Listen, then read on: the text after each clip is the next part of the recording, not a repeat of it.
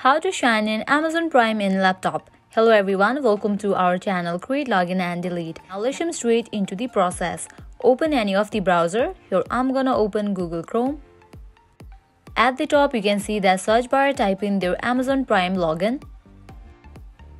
Now from here you have to click on this very first link amazon.com shine up for a prime video. Click on it. After you land to this page, at the top you can see that option of sign in, click on it. Now over here you have to fill up the details to log in to Amazon Prime. First you have to type in your email or phone number and then type in the password.